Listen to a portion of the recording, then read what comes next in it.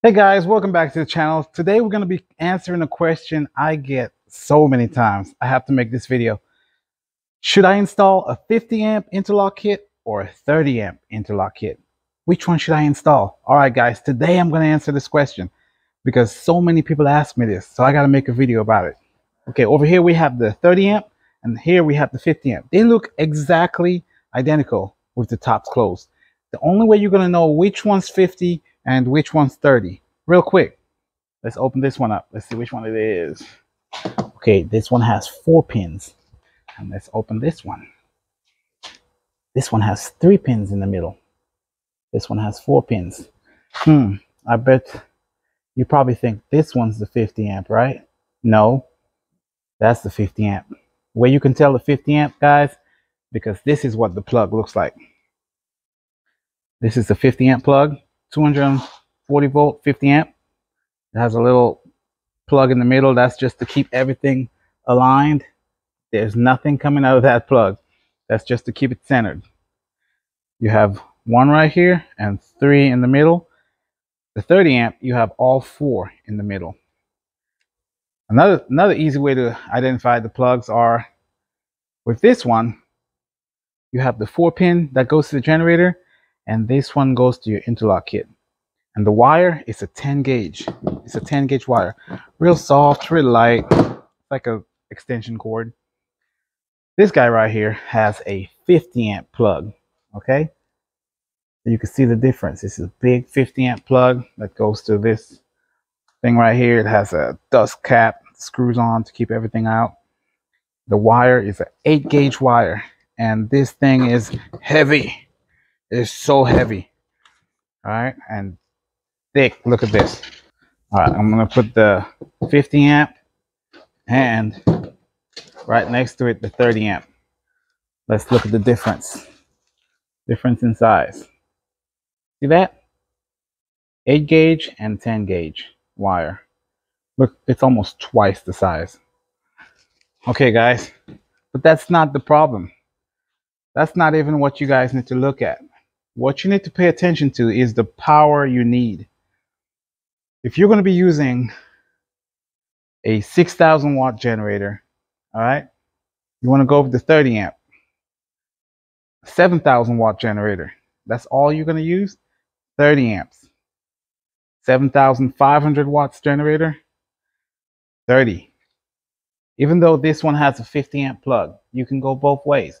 But if you're not going to parallel this generator, there's no need to install a 50 amp when you're not going to use that much power. The 30 amp, your maximum power is 7,500 watts. Okay? 7,500. Doesn't mean you can't surge above 7,500, but your sustained power has to be right around 7,500. For example, you have this 9,000 watt generator, okay? 9,000 watt, but the running watts is 7,600. So if you're going to use this generator, 30 amp plug. But if you're going to parallel this generator, then you want to think about the 50 amp plug. And also, you have to use a parallel kit if you have this generator. All right, let's go back down the other way. So that's for your 30 amp.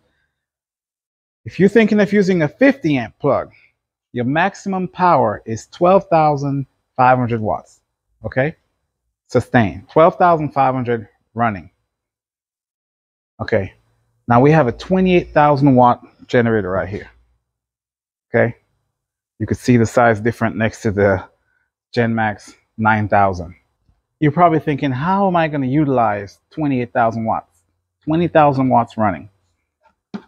You got a 50 amp plug and another 50 amp plug, another 30, another 240 volt 30 amp. Another 240 volt 30 amp. Right here you have 120 volt 20 amps 120 volt 20 amps. This generator was not built to pull all its power from one plug. So please guys so many questions coming in about this generator and how are you going to utilize all that power? It's a construction type whole house generator. So you you have multiple outlets to utilize that power. But you can run your home and your RV together because it has two 50 amp plugs. All right. As you can see from one plug, I've pulled up to 7,600 watts. Okay. So right there, that's easy. All right. So this one right here, I would do 50 amp for sure. You have two GenMax 9000 parallel together. 50 amp plug is the only way you can go. Okay, guys, so if you're trying to figure out which one you want to go with, it basically saying, what are you going to run? Are you going to run above 7,500 watts all the way to 12,500? That's a lot of power. If you don't need that much power, go with the 30 amp. You could use adapters. You could use a 1000 watt generator. Just turn off all your 250 volt load. If you want to use a smaller generator, you can use it with that one. Just ad adapt it. Use an adapter. You could use a 2000 watt, power all your 120 loads. Or if you're going above 7,500 watts, you're going to need to go with the 50 amp. That's it. 12,500 and down, 50, 7,500 and down. 30. We're almost at that goal right now, a little milestone, that big 10. Okay? Keep pushing that subscribe button. Let's get there. Guys, the channel's getting better just because of you guys hitting that subscribe button.